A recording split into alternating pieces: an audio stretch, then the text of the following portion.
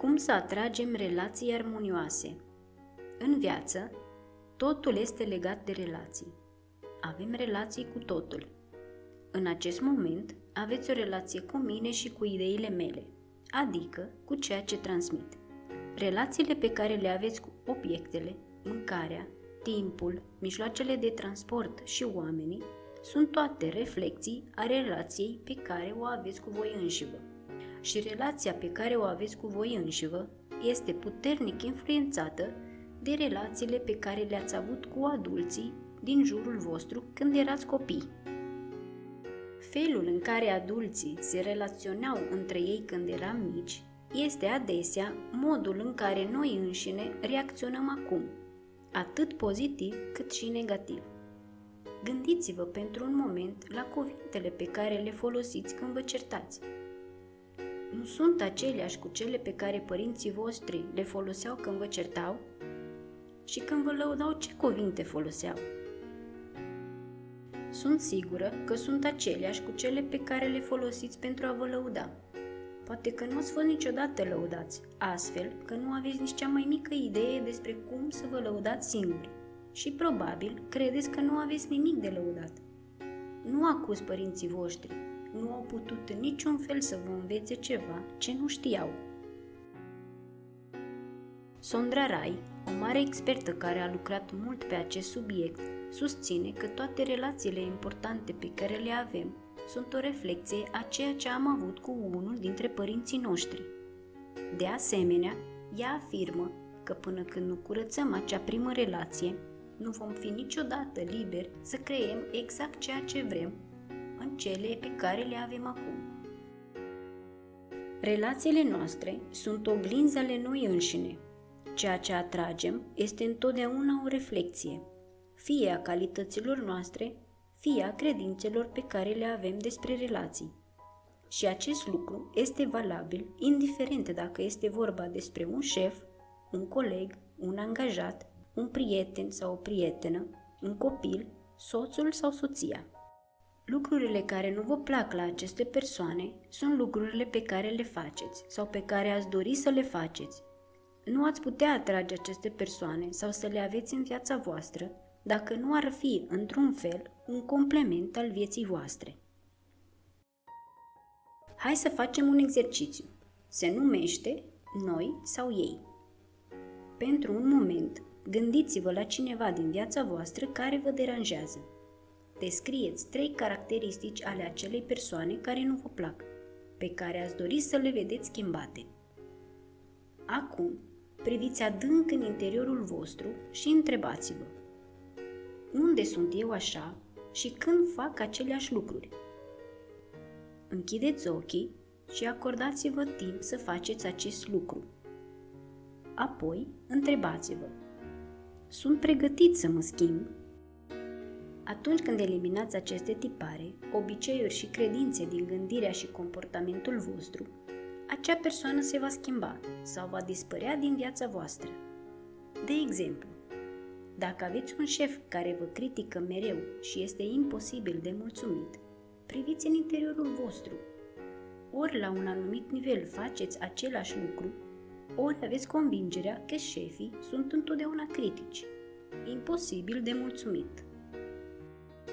Dacă aveți un angajat care nu vă ascultă sau nu își termină munca la timp, observați unde faceți același lucru și începeți să faceți curățenie în voi înșivă. A concedia pe cineva este ușor, dar nu astfel curățați propria casă. Dacă aveți un coleg care nu vrea să coopereze și să facă parte din echipă, încercați să descoperiți cum ați putut provoca asta. În ce punct nu sunteți cooperativ? Dacă aveți un prieten în care nu puteți avea încredere, care vă lasă în dificultate, Întoarceți-vă spre interior și identificați aspectele din viața voastră în care nu sunteți demn de încredere și întrebați-vă, eu când las pe alții în dificultate? Dacă persoana iubită este rece și puțin afectuoasă, verificați dacă în interiorul vostru există o convingere care provine din copilărie, care vă spune că iubirea este rece și puțin demonstrativă. Dacă partenerii de viață sunt critici și indiferenți, reconsiderați convingerile voastre din copilărie. A fost unul dintre părinții voștri critic și indiferent? Sunteți la fel? Dacă aveți un copil a cărui obiceiuri vă irită, vă garantez că acele obiceiuri sunt ale voastre. Copiii învață doar prin imitație, de la adulții din jurul lor. Schimbați-vă obiceiurile și veți vedea cum copiii voștri se schimbă automat. Aceasta este singura modalitate de a-i schimba pe ceilalți, începând prin a ne schimba pe noi înșine.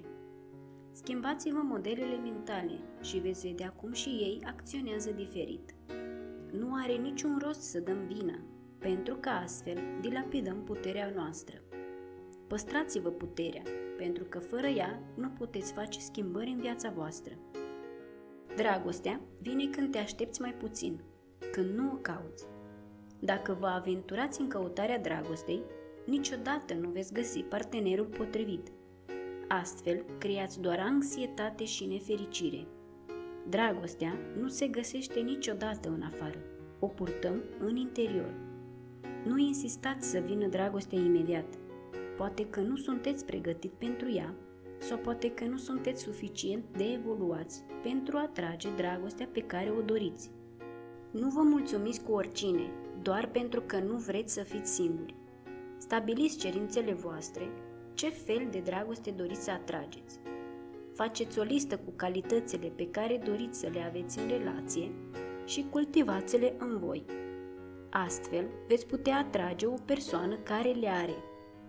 De asemenea, puteți examina ce vă ține departe de dragoste.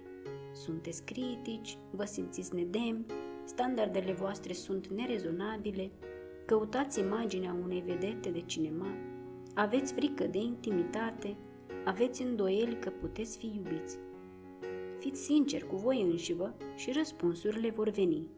Fiți pregătiți pentru dragoste atunci când ea vine. Pregătiți terenul și nu uitați că apoi trebuie să o hrăniți și să o îngrijiți. Dacă iubiți, puteți fi iubiți. Simțiți-vă deschiși și receptivi la dragoste. Mai jos, un poem de Louis Hay despre dragoste. În infinitatea vieții în care mă aflu, totul este perfect, complet și întreg. Trăiesc în armonie și echilibru cu toți cei pe care îi cunosc. În centrul profund al ființei mele există o sursă de iubire infinită. Acum las această iubire să curgă la suprafață, să îmi umple inima, corpul, mintea, conștiința și întreaga mea ființă, să radieze din mine în toate direcțiile și să se întoarcă multiplicată. Cu cât mai multă iubire folosesc și ofer, cu atât mai multă am pentru a da, deoarece resursa este nelimitată. Dăruirea de iubire mă face să mă simt bine, deoarece este o expresie a bucuriei mele interioare. Deoarece mă iubesc, îngrijesc armonios corpul meu. Cu iubire îl hrănesc cu alimente sănătoase și benefice. Îl îngrijesc și îl îmbrac cu iubire, iar corpul meu, iubindu-mă, îmi răspunde vibrând de sănătate și energie. Deoarece mă iubesc, îmi ofer o casă confortabilă, care satisface toate nevoile mele. Umplu camerele cu vibrația iubirii, astfel încât toți cei care intră în ele să simtă această iubire și să se hrănească din ea. Deoarece mă iubesc, am un loc de muncă perfect, unde îmi pun în valoare talentele și creativitatea, lucrând cu și pentru oameni pe care îi iubesc și care mă iubesc, obținând venituri bune. Deoarece mă iubesc, gândesc și mă port cu afecțiune față de toate persoanele, pentru că știu că ceea ce ofer se întoarce la mine multiplicat. În lumea mea atrag doar oameni care mă iubesc, deoarece sunt o reflexie a ceea ce sunt. Deoarece mă iubesc, iert și renunț complet la trecut, la toate experiențele trecute și sunt liberă. Deoarece mă iubesc, trăiesc în totalitate în prezent, simțind că fiecare moment este bun și știind că viitorul meu este strălucitor, plin de bucurie și sigur, deoarece sunt o creație iubită a Universului, iar Universul se ocupă iubitor de mine. Acum și pentru totdeauna, totul este bine în lumea mea.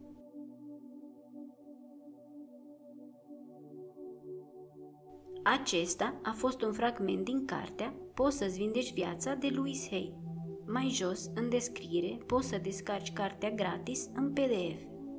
Dacă ți-a plăcut, dă click pe îmi place, distribuie-l și nu uita să te înscrii. De asemenea, scrie în comentarii.